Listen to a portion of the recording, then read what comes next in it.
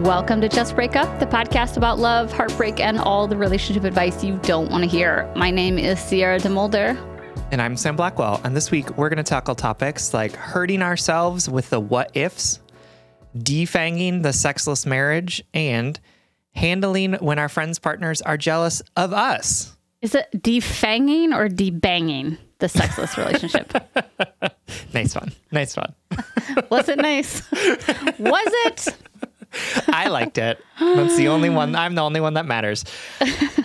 But before we begin, we just want to give you our Surgeon General's warning, which is that Sierra and I are not licensed mental health practitioners or people who have been formally trained in relationship advice giving. We are just two people. Period. Period. That's, That's it. We're just two people. yep, that's it. Uh, this is all to say. Please take our advice as you see fit. We're only here to offer our humble musings to hopefully shed some understanding and maybe some laughs on the incredibly rewarding but mostly confusing experience that is love. All right, Okay. Sam, do you want to tell me about the check-in topic? I do. I do want to tell you about the check-in topic. Uh, so this check-in topic is inspired by a, a writer uh, whose name is Otto Ick Giver, whose pronouns are she/her, and who's writing from SF. Uh, and basically, um, Otto Ick Giver had some whiskey and got, and her mind started running, and then her fingers got hot, and so she asked, wanted to ask us this question. Um, but it's about sort of the ick uh, and the ick sort of turned internally. So, like when we see ourselves do something, or when we say something that we think is silly, or whatever it is, that sort of like immediate and like physical revulsion that we feel of like, oh, I, I don't like myself, or like, oh, that's disgusting, or whatever it is. Um, and and how do you address that? Like, what are some ways that that you can stop that in its tracks? Um, have Sierra and I ever given ourselves the ick? How do you deal with this this thing that sort of comes up and feels really uncontrollable, um, but also feels like really mean to ourselves? Now, you already told me this because I I needed to text you for clarification. but but for those at home who are kindred with me, what is the ick? Yeah, so the ick is this sort of trend that folks are talking about, which is like when our attraction to a person suddenly becomes revulsion and we can't really explain why. so like most typically it's like talking about like you're on your third date and then he won't stop talking about his Apple Watch and suddenly it's like oop the ick. right? Or like you're on That's your so fourth mean. date, right? You're on your fourth date and he like trips or something and you're like, "Oh." And it's like but it's like That's a even uncontrollable. no, absolutely. They're all mean. Like it's not I mean sometimes it's it's mean Yeah. or sometimes it's like funny, but like often it's just like, "Oh, that poor person." But it's sort of like it's about like it's not a logical thing. It's not like, Right. "Oh, like here are the but it's it's like a a like visceral sort of like body reaction of like, oh, I'm. It's not that I'm no longer attracted to that person. I'm like repulsed by them in this moment. Yeah. Um, so I think makes sense that that's what the auto ick giver is calling that experience of being like of like seeing yourself in a mirror or something and being like oh what is what's going on there it's not like a logical like oh i need a haircut or something it's like oh like what's going on like that sort of body reaction to what we're seeing or what we're experiencing Right. And so this is coming up when they say something that they perceive as dumb or when they do something that they regret. They're, it's like it's like retroactive social anxiety paired with self-loathing. yeah exactly absolutely Oh, and good, feels like good. We're out of just out of so our control kind to ourselves. We're so Man, nice to ourselves. You know, you Absolutely. know, we have evolved through like, you know So how much much, evolution took us to get here, and now we're like, let me evolve to hating myself more and in and in more unique ways. I have like I want to like file a complaint. It's like Yes. why did we evolve into this? This is not helpful. This like is so constant anxiety and self-reflection. Like what is this? It's not good. okay, so you told me privately that you strongly relate to this letter. Can you tell me a little bit about that? yeah, I'm I get this feeling all the time of like you catch yourself in the mirror and you're like, "Oh, what is that?" Or like you you say something on a podcast, for example, and Yeah, you're like, no. "God, what an idiot!" Or like, uh, yeah, or or you know, like you say something to a friend and you're like, "Oh, why did I say that? That that was like such Yeah. the wrong thing to say, or whatever it is." Um, and I like deeply relate to this, and it, um, and it's so interesting too because it's like you know you can do a lot of work of like self-love and and so much of that feels like a really intentional experience of like yeah i'm sitting down i'm having these conversations i'm doing this stuff and yet like this like visceral like reptile brain revulsion mm. like comes up sometimes for me where i'm where i play back what i said or i listen to the sound of my own voice or whatever it is and it's just like oh what is that I totally relate to that. I think especially the how how subconscious it is and how Yeah. it's it feels like a move in your brain that you that no amount of like self-love journaling can can stop. Um it doesn't necessarily make sense and it's like it's like a schoolyard bully that just like hides in the back of your brain For um, sure. and pops up just for these small things. Um and how do you go about navigating this?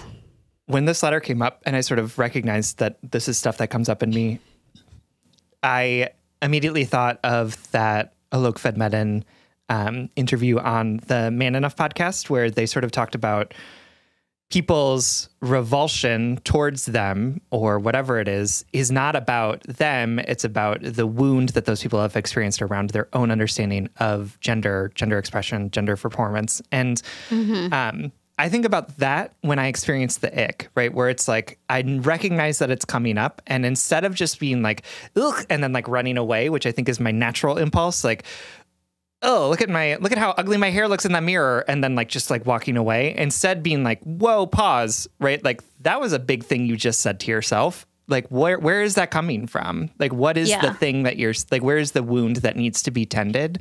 Um and i think it's more about like that stuff is going to come out all the time because we are all of us deeply wounded in many different ways and that's going to come out in like really bizarre ways of of treating ourselves and other people so instead of just like allowing it to happen instead like in the same way that i would with like a like a, a child who is like unregulated right instead of being like Yes. oh, you're throwing that across the room. I'm just going to ignore it and like let this happen. Instead, being like, whoa, whoa, whoa, what's going on? Like, what? Oh my gosh, like you must be really upset. Like, let's talk about it. Like, what is the thing that's coming up for you, or what is, why is this coming out in this way? Um, so, so treating myself like I would a child who's just lashed out at me, because that's what it sort of feels Yes, like, right? Like you're, you're like your liminal like lizard brain being like, ew, ew, ew, and of being Yes. like, whoa, whoa, whoa, whoa, whoa. Like, what do we need? Like, this isn't this isn't helping you, and it's not helping me. Like, what do what do we need in this situation? What needs to be different so that we can we can regulate ourselves better? Yes. And isn't it wild all of the ways we have normalized or become desensitized to our own violent self loathing? Like that you Yeah. can have a thought that is so cruel and so so passing like like passive, you know, like oh look at that, my hair looks disgusting. The word disgusting, like how often do we use that for other people and we use it so flippantly with ourselves? For sure. and you know, the big thing that I'm taking from you now is like to denormalize that, to actually stand in the truth of the the way we're treating ourselves and and and have have that have weight um, and have that have implications instead of punishing instead of flippantly going about saying like oh i look disgusting or i feel awful or man those mm-hmm. people must hate me be like whoa whoa whoa whoa whoa those are big meaningful things that i'm saying to myself about myself to myself Yep. where is that coming from who taught me that whose words were those first and Yep. why have i become so comfortable regurgitating them upon myself For sure. and i also Yeah. think like you know i remember reading on instagram years ago uh every time i judge something i reveal an unhealed part of myself Right. and that goes to the bigger idea of ick right what are you so disgusted by right now you know not, For sure. n- I'm I'm definitely for people, you know, cueing into their more into their senses of self or into their intuition when it comes to dating. And if you really don't like that guy who talked about his Apple Watch for three hours, Great. like trust that ick, ride that ick. And also, I feel like our judgment on other people is is a false sense of security, and that and mm. that's the same for our judgment of ourselves. For sure. Absolutely. And these like ick moments are often also so tied to like systems of oppression Yes. that we have learned and that we engage in as well, right? So like there is something to be said about sitting in those things and being like, where is this coming from? Rather than just Yes. being like, ooh, I got the ick, right? And being like, okay, I got Right. the ick, but but what part of me is unhealed and is like so repulsed by literally just another human being who's standing in front of me? Right, exactly. All right, my darling, darlings, we hope that this helps. Let's get into our letters for this week's episode. Let's do it. All right, our first letter comes to us from X Austed, whose hmm. pronouns are she, her, who is writing to us from the void. Hi, Sam and Sierra. Thank you for all that you do. I never miss an episode, and I'm so grateful for the head and heart work I've been able to do because of this podcast. I, 25, cis het female, have had a history of dating guys who kept in touch with their exes. This contact would eventually turn inappropriate, resulting in general discomfort slash doubt and sometimes even cheating. Because of this pattern, I had developed some paranoia about exes. I started dating my current boyfriend, let's call him H, 25 cis het male, about a year ago. It's been a great, fulfilling relationship which in which I feel seen, heard, and taken care of. We now live together, and I have tangibly seen my life change for the better since dating this person. However, there is something that has continued to haunt me. A few months into our relationship, my still paranoid self gave into my darker impulses and I checked H's phone. I know that was very toxic, and I wish I hadn't done it. Unfortunately, I found what I was looking for.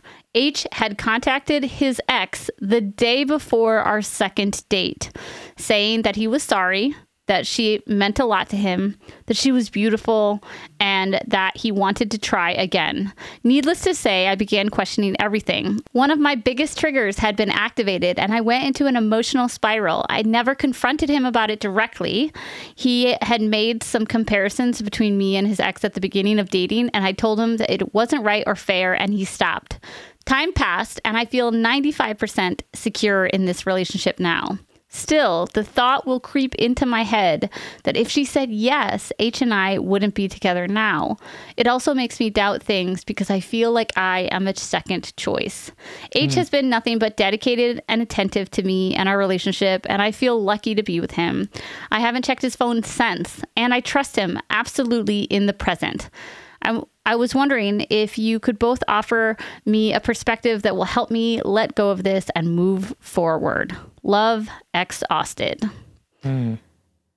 I love this question, and I love the way you phrased it. That like that really you just want to look at this differently so you could move on. That you know that this is in the past and that you can't change anything, um, but you want to be able to move into the future, like not carrying the baggage of this or the anxiety of this. Right? Uh, it's so relatable.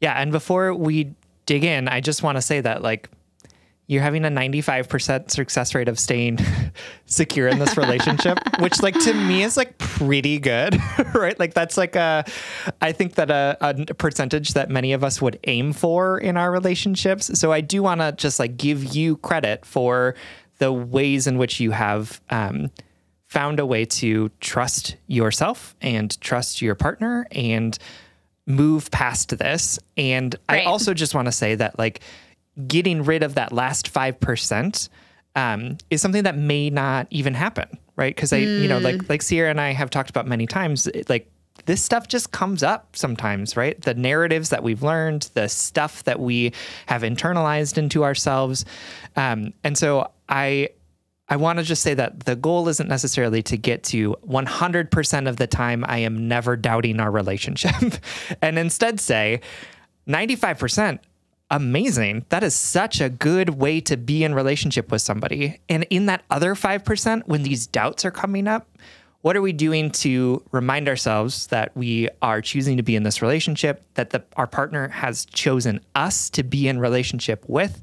Like, how are we going to react and respond when these things come up? Not necessarily like get rid of all of these feelings, get rid of all of these thoughts, because that's not actually something that we can achieve. Because it those Right. thoughts, those feelings We are going to come up. Mhm. always. They're they're they're built into the bodies that we are sitting in.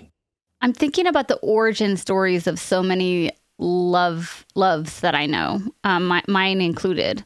Um, and while yes, there are relationships out there that have started with two wholly single people you know coming to each other with such a clean slate perfectly timed you know perfect amount of you know matching baggage right. i know that those exist and also the majority of relationships in the beginning of them there is always some sort of untangled sorry there is always some sort of tangled thread that needs to be sorted out or Mm-hmm.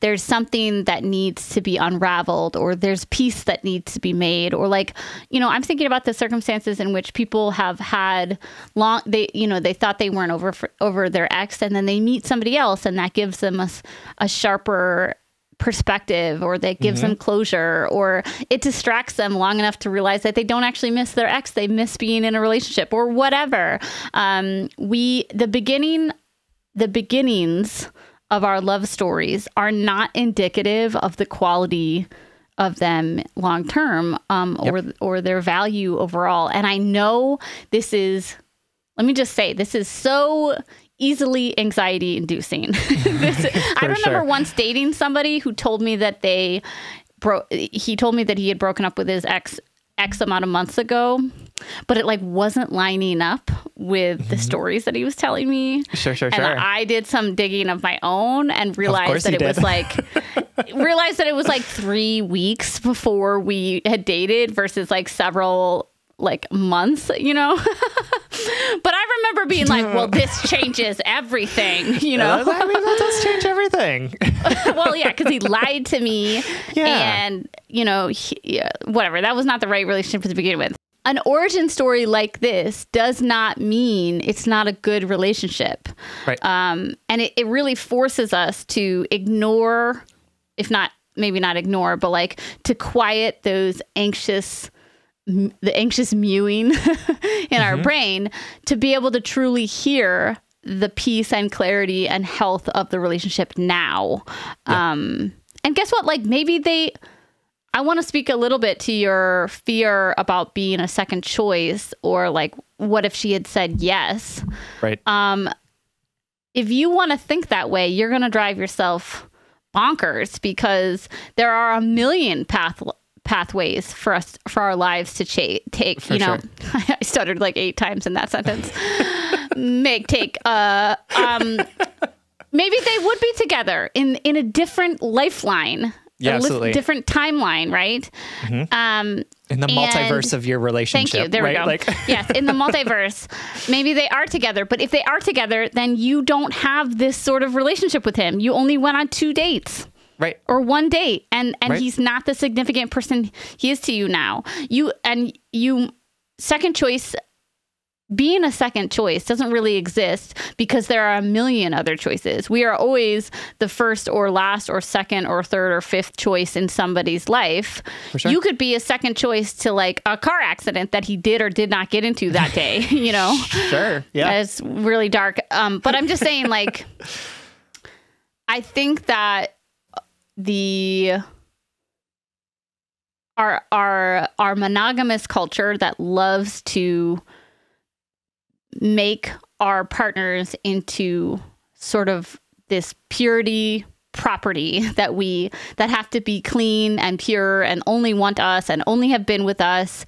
Mm. It really can confuse our brains when we are quote the second thing that they wanted right? But that but that is undermining our entire humanity. We're allowed to want so many things you know? And plus like long story short he's with you And I think it's important when you're like looking at this to not be like, I'm his second choice, right? You can look back and say, I was his second choice, but guess what? He didn't know me, right? Like you had been Right. on one date when he was like, One I would rather be with this ex girlfriend of mine. who he right? knew intimately and he didn't know you intimately yet And he didn't know you at all, right? So even if you were second choice to him, that's because he's an idiot who didn't know you, right? Like he's not an idiot samuel he was he was an idiot in that point because like of course Yeah, you should be you should be first pick but I, I think it's important for us to ro- like for you to remember in the situation that we're not talking about you and your boyfriend right now, right? We're not talking about the love and the time and the energy that you've put into this relationship and getting to know each other, right? Like he had an option of this person he knew really well or this person he'd been on one date with and he was like I'm in love with this person that I that I knew know very well, but that doesn't mean anything about you because he didn't know you. It's not like he had some sort of secret knowledge that said like, "Oh, I know for a fact that my ex-girlfriend will be better than this person." Right? Like he wasn't he was a person making choices with a limited amount of information about you and about what your pos- your relationship could possibly look like. Right. So, so it doesn't behoove you, it doesn't serve you well to make this comparison or this sort of hierarchy. Uh, because it's not actually true. It's the, Yeah. the way that you're experiencing it or the way that you're talking about it isn't an actual reflection of what happened in those moments. And what I love about our anxiety is so fun is that it gets focused on things that like we can't change and also didn't don't really matter that much, right? Which is exactly what's happening here, right? You can't change the fact that he back a year ago before he knew anything about you besides like your name and what you did what you do for work and like how well you can hold a conversation right but like going back there, you can't change that, right? Like this thing that he did a year ago. And guess what? It doesn't actually matter that much because he's with you, right? Like Yeah. maybe what would have happened if she'd said yes? Who cares and who knows, right? Like it didn't Yeah. happen. She didn't say yes. And so now you are together in this beautiful, wonderful relationship, this supportive and loving thing that you two are embarking on together. And so the question for you is like when this kind of like anxiety stuff comes back, how can you bring yourself back to what is actually true, which is that you and he are both choosing to be together in this moment right? There Yes. are many different things, many different circumstances that have led you to this, including the situation with his ex. But in this moment, you two have decided that this is the relationship that you want. And how beautiful and wonderful is that? Of the 7 billion people in the world, that you two have found a way to decide that you want to be together for now and going into the future. Oh, Samuel being so poetic. All right, my sweet. We hope that this at least offers one new perspective to help you let this go and move on um, in a way that feels better for you. Thank you so much for writing and trusting us with this letter. Absolutely. We love you. All right, our next letter comes from River Tam, whose pronouns are she, her, who's writing from No Sex USA. Dear Sam and Sierra, first, I am a huge fan of the pod and love the work that you do. Thank you for keeping us all sane in this insane world of love and relationships. Okay, now to my conundrum. I am married to my partner, he, him, for several years now. When our relationship started, we had the most amazing sex. Like, for real, a man never made me come before him. So it was really great. Over time, our relationship blossomed into a really loving and supportive one, and I can truly say that he is my best friend. However, there here comes the other side. We have been together for over seven years now, and the sex has disappeared. Like basically completely. Sometimes we will have short periods of time, like last summer, where we had sex every day, but we were on vacation and away from the stresses and routine of daily life. Since then, it has happened once. For reference, it is coming up on Christmas. I am in my early 30s and I'm a very sexual person, and the lack of sex in this relationship has made me question the entire marriage. I have brought this up to him many, many times over the years, but at this point, it's something that has almost become a joke between us, and he no longer takes the conversations really seriously. To be fair, in the evenings, sometimes I also don't feel in the mood, but I would say that the major problem is that no one is initiating it. Also, I am always the one who brings up discontent with this, which also makes me upset, as I feel like he doesn't care that we don't have an intimate relationship anymore. This also puts a general stress on our relationship, and I become much more easily annoyed at him for small things. Really healthy, I know. Also, fun side note, I have started to have very vivid dreams where I cheat on my partner because of an internal dialogue going on in the dream that there is no sex in my relationship, so I have to find it somewhere else. I then usually wake up feeling really guilty, even though it was just a dream, lol. Basically, what I'm trying to say is that I love my partner so much, but I feel so sad at, at such a loss of what to do to make the sexual part of our relationship come back to life. It needs some serious resurrecting, but I don't feel like he puts any effort into it. And I get so frustrated that I feel like giving up sometimes. I also have this internal shame around this, and I don't feel like I can talk to any of my friends or family about it mm. since I feel like they will judge me or say that this is not normal, etc. I start to wonder if it is the beginning of the end of my marriage, which makes me deeply sad. However, I have a fear of being in a sexless marriage for my whole life with no one brave enough to make a change. Sorry for this rant. I hope it is not too all over the place. Thank you so much for reading this. Much love, River. Oh, River, thank you so much for trusting us with this question and for listening. This is, I just want to say out the gate, is this is very normal. This oh, is not like a shameful secret that would, you know, spread would be like town gossip, you know. I sure. feel like if the gossip wheel got a hold of this one, everyone would be like, "Oh yeah, totally relatable." yeah, I was like that. Uh, yep. yeah. Keeping in mind that like every relationship looks different, every person has a different relationship to sexuality, desire, and even the most compatible uh, most stable, secure relationships, they still have misaligned desires and needs because we, like I said, we all have different relationships to intimacy. Um, so there's just not, I just want to start by saying this is totally normal and there's not a right or wrong way to have sex in a relationship because we have so many, we're, we're all so uh, inconsistent and diverse in our in our relationship to sex and intimacy. And I also want to say this letter really speaks to me um, because one of the things that intimidates me most about marriage and partnership in general is how difficult it can be to change an established, comfortable des- dynamic, even when that dynamic is like comfortable in a bad way, you know, like just going to bed at night when you're sure. tired instead of making that intimacy bid.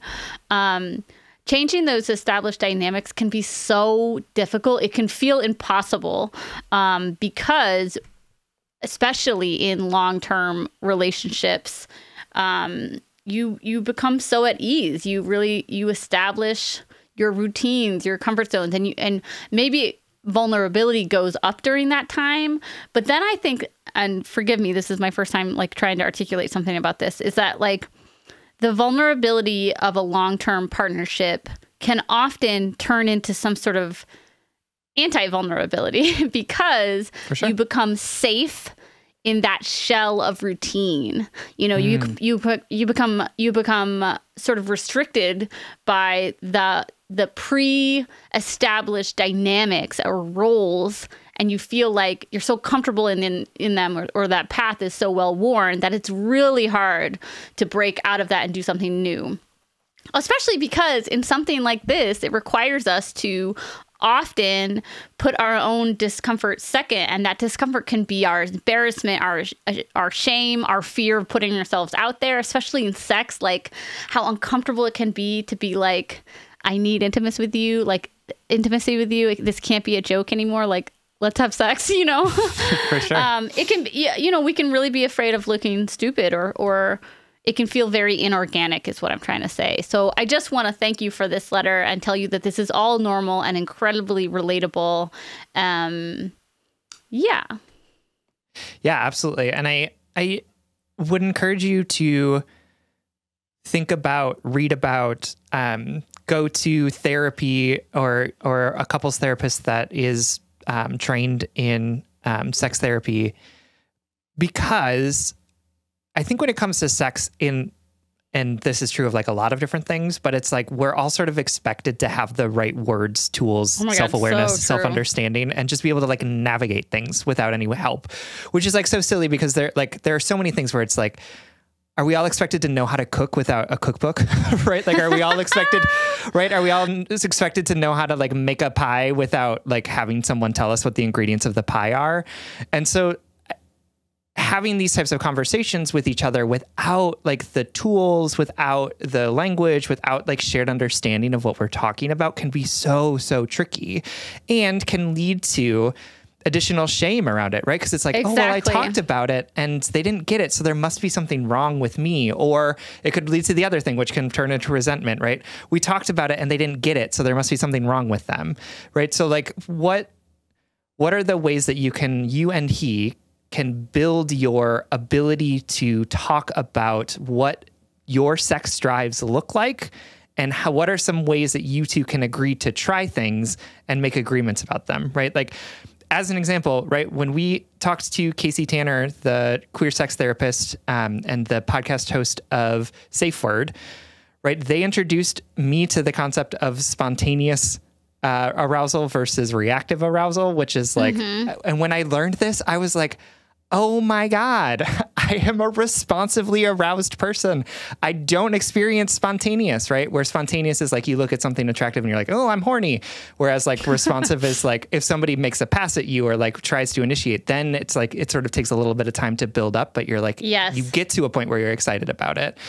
And I, and I'm so thankful for that conversation with Casey because it like transformed the shame I had around myself about the like I'm doing this sex thing wrong, and instead being like, Right. oh, I have different ways to understand and talk about what actually works for me to actually get me to a point where I'm like ready to have sex. and Right. so that's my encouragement for you. Like, what are some things that you can read about, listen to? I'm sure that Casey's actually, I'm not sure. I know for a fact that Casey's podcast is amazing and you should check it out because I'm sure that there's stuff in there that will be helpful for you. yes. But it is important for us to like not just approach these conversations thinking that they will go well just because, but instead being like, what are the tools out there? Do we need to go see an AASECT accredited uh, therapist, right? People who Right. are who are trained in sex therapy. Do what books can I read about arousal? Check one off on the tally, uh, Spencer, because uh, Ace is a great book to read about uh, different types of uh, how we approach sex and different ideas around like what do we assume is the norm, what do we assume is not the norm, and what do we actually want. Like, there's so much work that needs to go in this. And I'm- what I'm hearing is that your your husband doesn't seem to be wanting to do that, but I think in combination with Sierra sort of like disrupting the pattern of the way that you talk about this and then thinking about what are the tools that we need to be able to talk about this with some shared understanding of our own stuff and each other's stuff because right. talking about this in the way that you're talking about it isn't super constructive, right? It's just sort of repeating the same pattern. So, how are you disrupting that pattern? And then, how are you building up your capacity to be able to talk about this in a way that's going to be helpful for both of you? All right, my darling. I hope that all made sense. yeah, right. and we love you so much. Thank you so much for writing. We hope this helps. All right, our last letter comes to us from Frankly Uncomfortable, whose pronouns are she, her, who is writing to us from apparently still Xville. Dear Sam and Sierra, first of all, I want to thank you and Spencer so much for the way you've touched my life and the lives of so many others. I first found your podcast in the depths of the pandemic, and it has played an important and active role in the growth I've done from then to now. Thank you for all that you put out into the world. That is very kind. You are mm. welcome. All right, I, 23, female, she, her, write to you today, not necessarily with a problem of my own, but with questions about a problem my friend is managing and how I should or should not handle it. My best friend from college, we'll call them A, 22, non binary, and they use they, them pronouns, wants to return to the city we attended college in to visit me. A fairly normal activity, I'd say. However, their girlfriend, she, they, is extremely upset that they want to visit me because A and I dated briefly two years ago. This is resulting in a likely postponement of the trip. A has been really upfront and honest with their girlfriend about our past since the beginning of their relationship. Re- reality is, we dated, it didn't work out. We worked to rebuild our pre existing friendship after the breakup and have been healthily just friends again for about a year, far before the girlfriend came into the picture. Regardless of the girlfriend, A and I have absolutely no romantic interest in each other at this point. We're just friends, and everyone in our friend group who has seen the evolution of our relationship knows that A's girlfriend has nothing to worry about. Frankly, I used to forget that we were technically even exes until A's girlfriend started making it a problem. Now it's relevant again. I've even met A's girlfriend and spent a weekend with them and our friends. It seemed normal until the girlfriend has been making her distaste towards my friendship with A known more recently. Their girlfriend even admits that the issue isn't me or my relationship with A, it's past trauma. Their girlfriend previous their girlfriend their girlfriend's previous partner have cheated on her with exes. I like A's girlfriend and was very supportive of this relationship until she began to start to control our friendship, even going so far as to ask A to never mention my name. A and I were attached at the hip throughout college, so this is a huge ask that requires A to filter a massive part of their life. Apparently, one of the things that A's girlfriend is holding on to is the fact that A and I had a threesome with a friend of ours during a festival a year plus after our breakup. It was spontaneous, but honestly was light and fun and not at all romantic. It was a bucket list item that was checked off during a festival where people do wild things for the sake of it. Sure. Those festivals. Funny, I never went to a festival. Is that what you yeah, call me that? I got that bucket list though. it is n- it has never messed with the dynamic of our friendship since that and that is the only context in which we have been intimate in.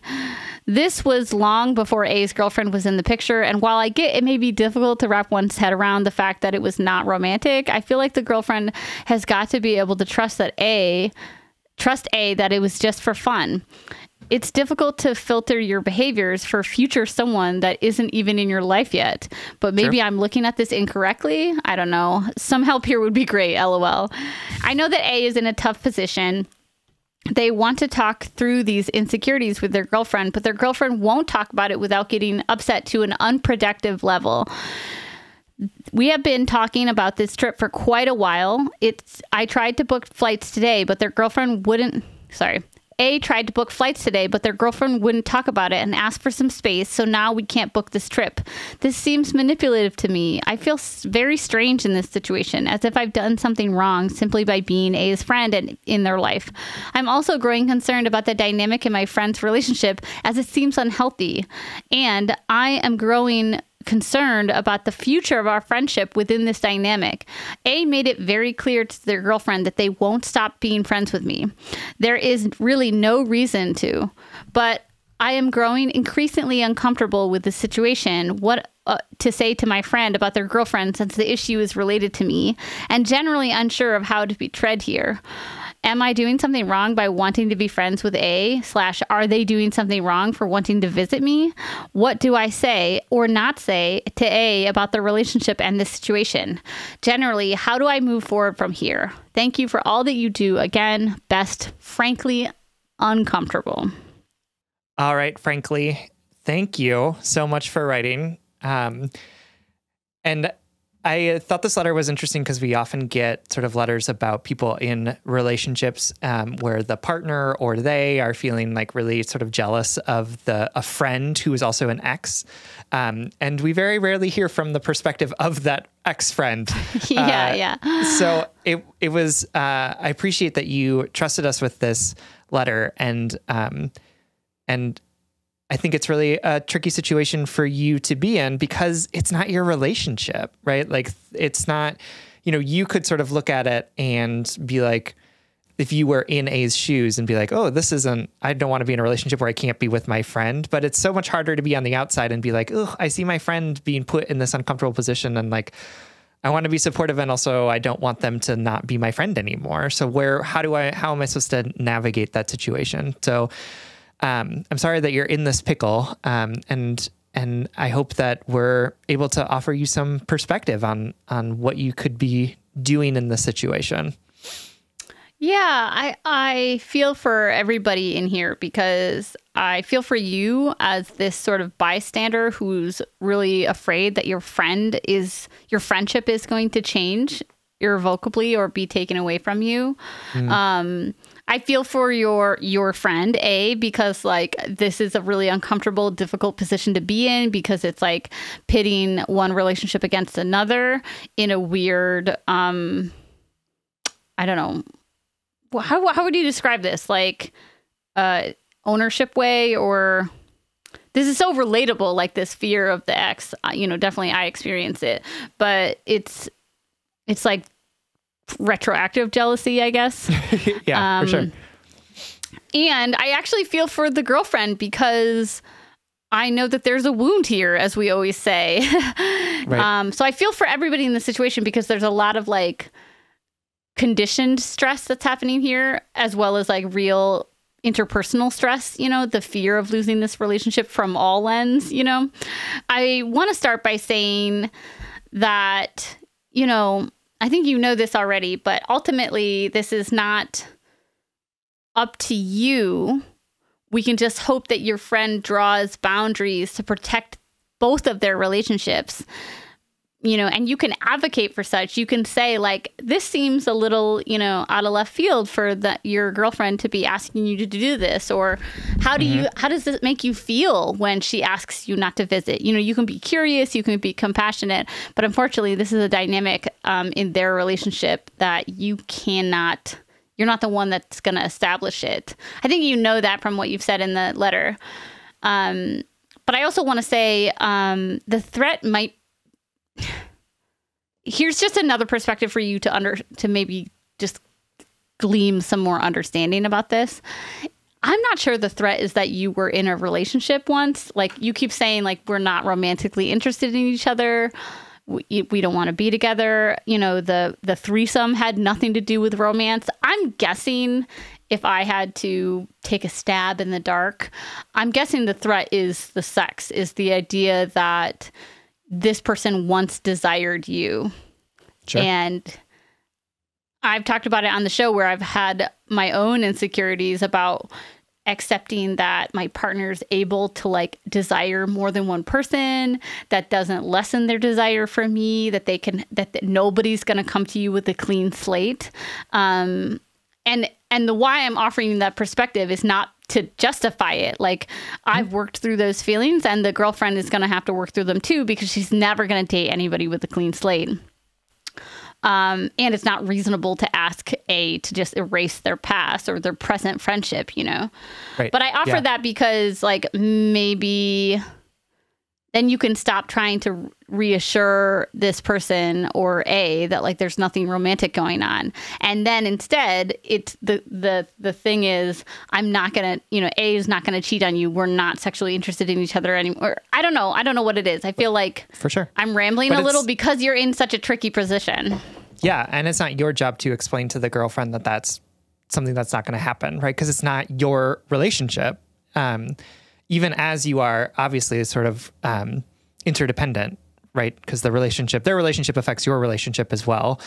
But I, I do think that um, the problem is, is that like they're the thing that's causing you this pain is like so much is so outside of your control, and the only thing that you can do is choose how you react and respond to the way that A speaks to you towards the dynamics that you're seeing. Um, and I would encourage you to talk with A about um, the fact that this is like hard for you to to see and experience, right? That they're not necessarily doing anything wrong, but that being put in this position is like making you pretty uncomfortable. And tell them that you know you love and support them in whatever they want to do, um, but but this is definitely having a big impact on on your relationship with them, right? To say, yeah, you are you get to decide how this relationship goes for you. And also like i'm definitely feeling some of the the impacts of it. And it's making me uncomfortable. And also it's making me sad for you that you're being put in this position. So what can i do to help support you in this? Yes. And it's it's sad to say that like sometimes friendships don't stand the test of time right? Sometimes friendships because the circumstances that they're existing in are no longer supportive of those friendships, right? Because we are all dependent on context, we're all dependent on timelines. Sometimes those things don't go very well. And sometimes relationships, friendships have to break up. Sometimes they get back together, right? There's an ebb and flow in in sort of how we interact with other people and how we maintain our relationships with them. And I um it makes me sad to say that, right? Because I wish I could be like, right. here's the here's the five things you can do to make sure that this friendship works for you. Um, but it sucks to be in this position where you're sort of seeing your friend be put in a in an uncomfortable position and knowing that that might have broad implications on on you and not really feel like there's anything that you can can do about it. So, yeah, how are you talking about it? How are you taking care of yourself in this situation? Um, but this isn't something that you need to necessarily sweep under the rug. This is something that you can continue to have conversation with A about to help them understand the ways in which this relationship that they're currently in with this current girlfriend and your relationship are are interdependent. They are they depend on each other. They are influenced by Yeah. each other. You're definitely not doing anything wrong, though, and A No. isn't either. We just affirm that that like, especially as we get older, the world is a lot smaller than we think, and there's there is going to always be overlap. And I know Sam and I always joke to like block your exes and don't be friends with your exes, and we say that glibly, like glibly. For sure. Is that the right? Absolutely. Um, and there are you know- obviously exceptions to that.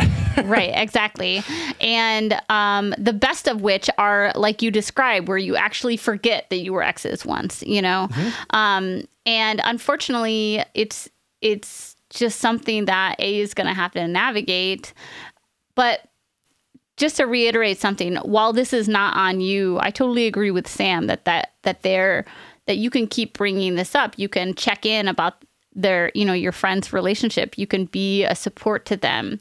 But what i just want to articulate is that there's going to there has to be two levels to this. There has to be two different approaches. The one approach is you being a supportive and curious and compassionate friend that offers resources, perspective, and is patient, you know, because it's not your relationship, it's theirs.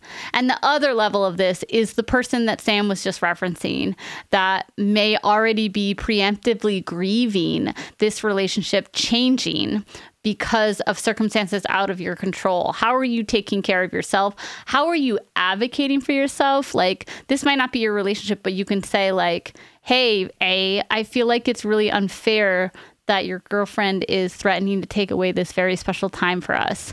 How can I support you in this? You know, like striking that balance between being true to yourself, um, protecting your own, own energy and peace and, and trying to preserve your relationships while understanding that you can't act in their relationship. You can't be the Right. the the voice. Um, unfortunately, we can't control other people. We can just support them. yeah, absolutely.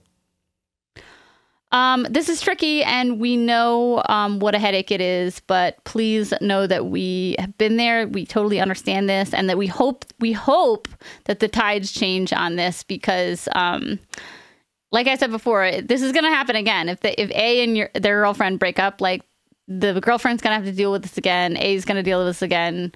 Um, you know, this is this is a part of navigating adult relationships For sure. because Absolutely. we've all got a history.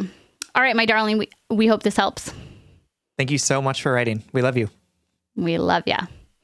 All right, this brings us to the blind date segment of the show. Every episode, we like to shout out something that we love that we want to set you up with. And this week, we are sending you home with An app called Forest. Uh, it is a concentration app. So, uh, what's really cute about it is that you sort of set a timer on it and you say, okay, I'm going to work for the next 20 minutes. And then if you don't look at your phone in that 20 minutes, it grows a little tree. So then you can like sort of look uh, at your forest and see how many times you've concentrated on things. Um, I find it really helpful as somebody who is like very easily distracted and also very addicted to my phone to be able to say like, okay, I'm going to take an intentional 20 minute break from it, or I'm going to be doing this thing and concentrating on this thing for 40 minutes.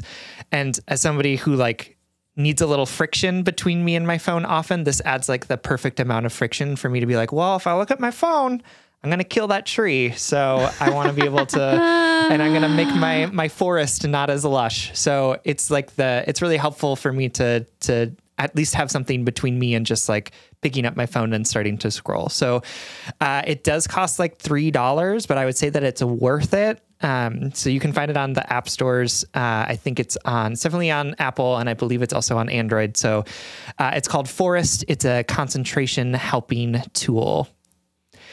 All right, everyone. Thank you so much for listening. You can like us on Facebook and you can follow us on Twitter, Instagram, YouTube, TikTok, all of the things at Just Break Up Pod. You can slide into our DMs, send us your favorite relationship memes, but most importantly, you can submit your questions about all matters of the heart at justbreakuppod.com, which is also where you can find our merchandise. Please remember to follow and subscribe, give us a five star rating and review, and consider supporting us on Patreon. If you support us on Patreon for as little as $5 a month, you'll get an additional bonus weekly episode as well as access to our back catalog of over 100 episodes. That's patreon.com slash justbreakuppod.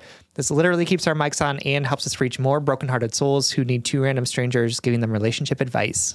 Just Break Up is a production of Duvid Media, original music, recording, editing, producing, all magical things by our good friend Spencer Worth Davis. Make sure to check out his most recent podcast, Dang, That's Weird.